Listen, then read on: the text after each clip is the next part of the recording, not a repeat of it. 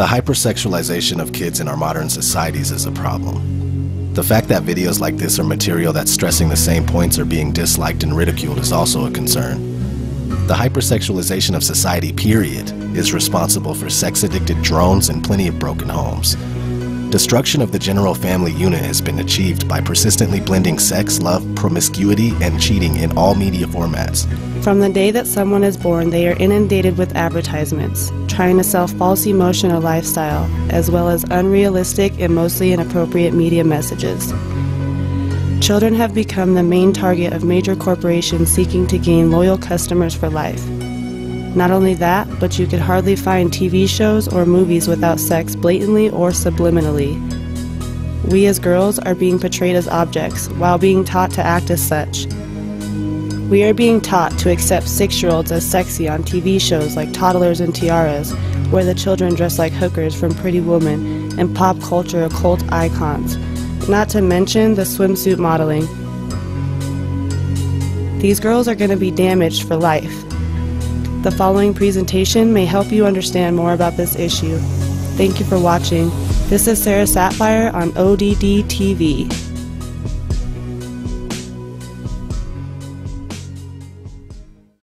I'll tell you what's the worst part about television is the is the programming, the philosophy. Okay, I mean the the manipulating of your mind, the philosophy, the the, the, the mentality, the, the system of thinking, the ideology. That's what's wrong with television. That's what's wrong with movies. That's where they're really getting in your head. Take for example Walt Disney right? And many people that will preach against the TV, they'll preach against the movies, they'll preach against Hollywood because it's obvious that that stuff is bad.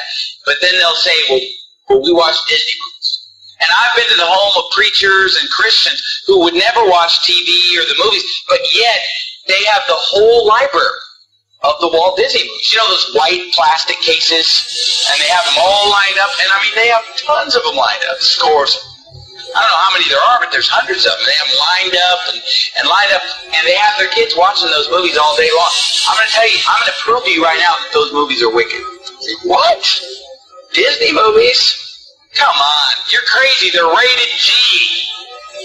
Well, let's see. First of all, did you know this? Did you know that Disney movies are filled with subliminal messages? Subliminal messages. Now, we're talking. what are we talking about tonight? Sorcery. What are we talking about tonight? Uh, getting inside your mind and messing with you, uh, controlling your thought process by by uh, supernatural means or demonic means. Or hey, I'm gonna tell you something. Disney movies are filled with subliminal messages, and you say, "Oh, that's a hoax." I've seen it with my own eyes. When I was a teenager, I had a friend of mine sit me down at his house and show me the subliminal messages in the Disney movies. They're filled with subliminal messages. Let me give you some examples. The Lion King, filled with subliminal messages. Okay, all throughout the movie, there are pornographic pictures hidden in the movie. Like you'll be watching the movie, and just for a few seconds, something filthy will come on.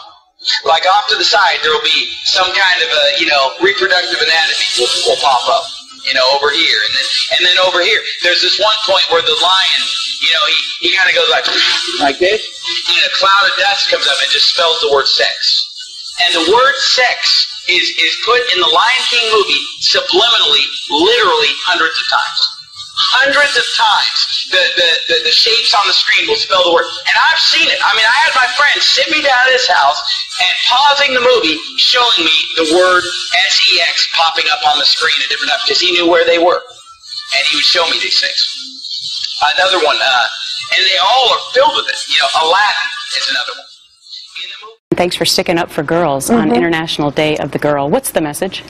The message is to support girls. We need to give girls to concentrate on what's on the inside and not what's on the outside you're a bright woman and you've succeeded. It's not because of what you look like, it's because of your brain, it's because of your skills, it's what, how you've developed. Mm-hmm. And that's what we need to be encouraging our girls. And we're trying to do this through the Brave Girl Alliance. And what is that? The Brave Girl Alliance, there are 15 women who have come together throughout the world to ask media, retailers, uh, major retailers to provide healthy messages and healthy images for girls.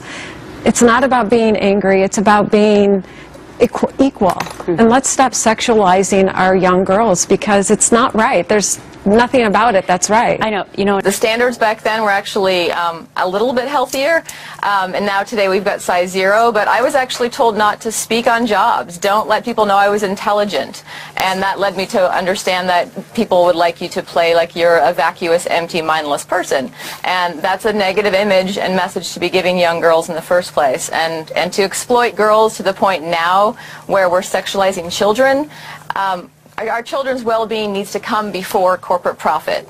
The, the advertisers and, and, media in general are setting the bar very low for society, and this is the lowest it's gone. And we need to say, no, not on our watch. This can't happen anymore. And I know I speak for many parents and many educators across the nation that these images just, we don't get to debate whether or not they're okay, acceptable, inappropriate.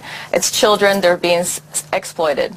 I think that girls sometimes feel like they get their value out of being um, looked at as a sexual being, and they think the only way to do that is by being noticed for cleavage, for shortness of skirt, shorts, whatever. Teen girls specifically turn to young celebrities as role models for how they want to look. Young children without proper guidance don't understand the difference between dressing appropriately like Hannah Montana and being cute and dressing like Miley Cyrus, which is a little bit less cute and more sexual. When you like their music, you'll you'll tend to like follow them on social media, and you'll see what they're wearing. They're, and like some unconscious part of you will think, "Oh, they're popular, and I want to be popular, so I'll try to act more like them." Despite the pressure, some young girls, like Campbell Hamai, choose to dress more modestly. Usually have a standard that says shoulders to knees, no one touches, no one sees.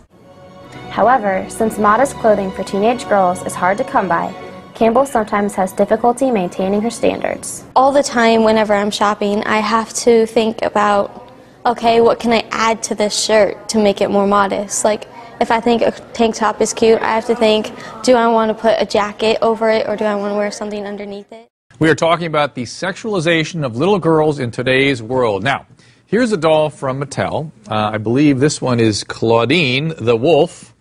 Nice, huh? You can see the, the, there's a midriff thing here, and there's like a thong. It's awesome for little girls. Uh, she, she's by the way, her message is on, I guess, on the box is my hair is worthy of a shampoo commercial, and my favorite activity is shopping and flirting with boys. That's wonderful. Really?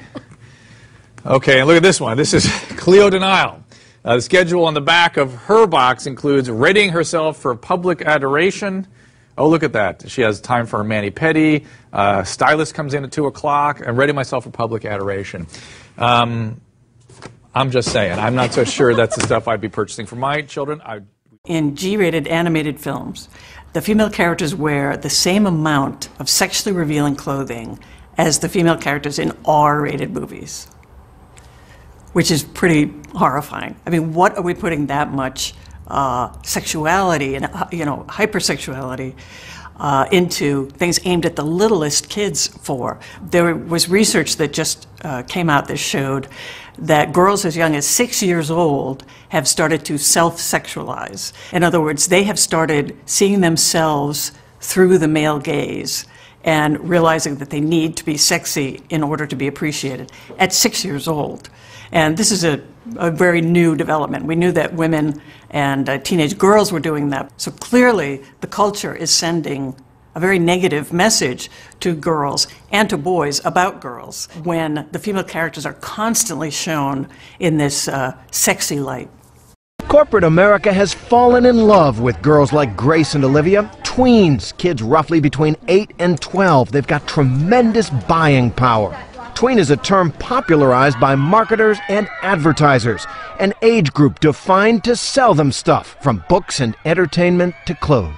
With the tween fashion industry, you're talking about a multi-million dollar industry. Alex Morris is a reporter for New York Magazine. She recently wrote about tweens and fashion. You're talking about an age group that is sort of a sweet in a sweet spot because these kids for the first time are have access to their own money. 8 to 12 year olds now have 43 billion dollars in spending power in the US every year and sex sells in America so corporations targeting all that teen and even tween money are selling sex to them. Critics even have a term for it, corporate pedophilia. You have a rack of clothing that is appropriate for an 11 year old next to a rack of clothing that isn't. It's certainly blurring the lines and it's making it harder for parents to be able to, to sort of set boundaries.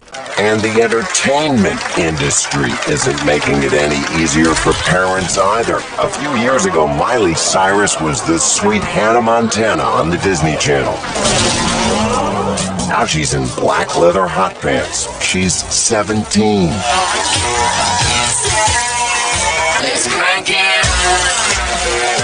Ashley Tisdale of High School Musical is now cranking it up. And Nickelodeon's Amanda Bynes graced Maxim's couple. The easiest way for a female celebrity to sort of transition from being a child star to an adult star, the pathway is through their sexuality. There's new research proving that all this sexuality aimed at younger girls is harmful. The American Psychological Association released a report earlier this year finding that girls exposed to such imagery are more likely to experience body dissatisfaction, depression, and lower self-esteem.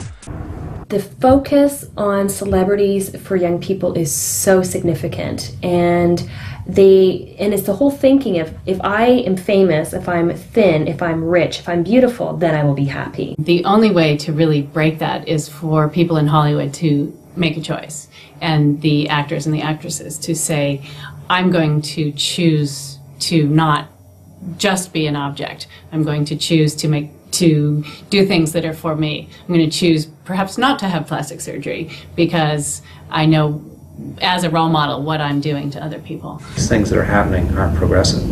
Um, they're dumbing down people. And unfortunately, it's having a lot of impact because you can see that uh, um, people are growing up much younger and faster, and yet the things that they should be caring about are being lost because they feel that uh, advertising is telling them what they should be they should find out for themselves what they should be.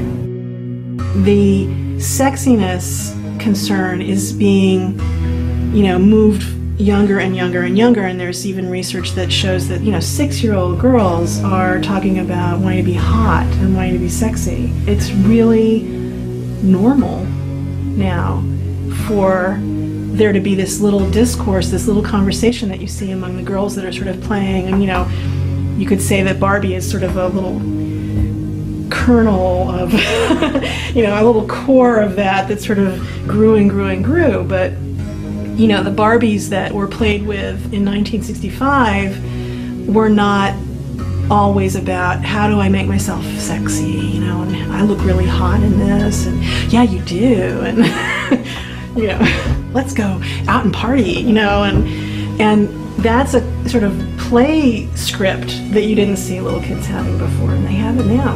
I am disturbed about the idea of girls being sexy and then getting to that line of sex.